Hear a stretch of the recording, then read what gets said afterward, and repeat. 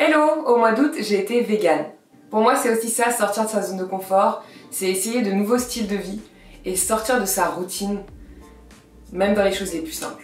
Ça fait 6 ans que je suis végétarienne, slash flexitarienne, slash vegan parfois, mais j'ai jamais essayé cette alimentation sur le long terme.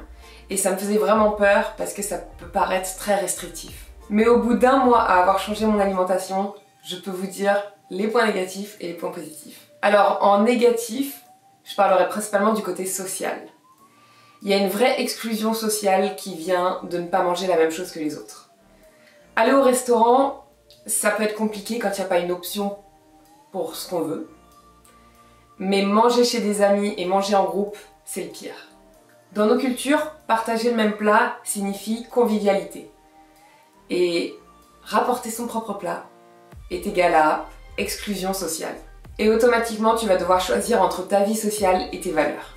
Avec ça vient le deuxième point négatif, le jugement. Et ça, il faut s'y attendre. Tout le monde aura un avis sur ton alimentation.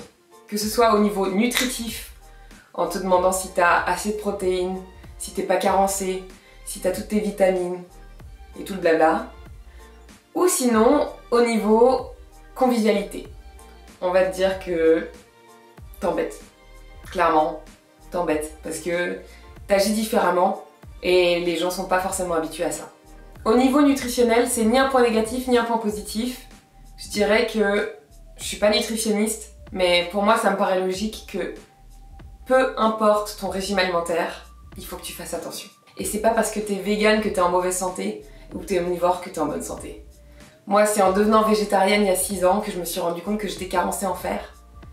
Et avant ça, j'avais jamais prêter attention à mon taux de fer parce que je pensais que comme je mangeais comme tout le monde, il n'y avait pas de raison que j'ai un problème. Mon premier point positif, c'est les recettes. Entre les Buddha Balls, les Overnight Porridge, le milkshake à la banane de mon enfance et pour finir les boulettes végétaliennes qui ont remplacé les pâtes bolognaises haut la main. Et tout ça va te pair avec une malbouffe délicieuse. C'est pas parce que t'es vegan que tu peux pas manger des crêpes, des burgers et des crèmes glacées à tomber. L'autre point positif, c'est que je me sentais beaucoup plus légère du fait que j'ai enlevé les produits laitiers de mon alimentation et beaucoup moins coupable du fait d'avoir enlevé les œufs de mon alimentation. Parce qu'il faut dire que les œufs, c'est mon petit point noir. J'ai vraiment du mal à m'arrêter de manger des œufs. Et quand j'en mange, je me sens coupable. Je voudrais conclure cette vidéo sur le fait que peu importe ce que tu fais, les gens voudront toujours émettre un jugement. Et aujourd'hui, je suis plus végane, je suis redevenue flexitarienne, végétarienne.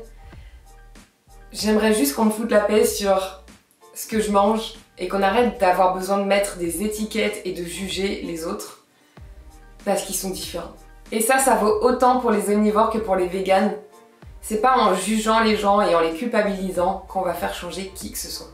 Sur ce, n'hésitez pas à m'envoyer un message si vous avez d'autres challenges et je vous dis à bientôt pour une nouvelle vidéo. Bye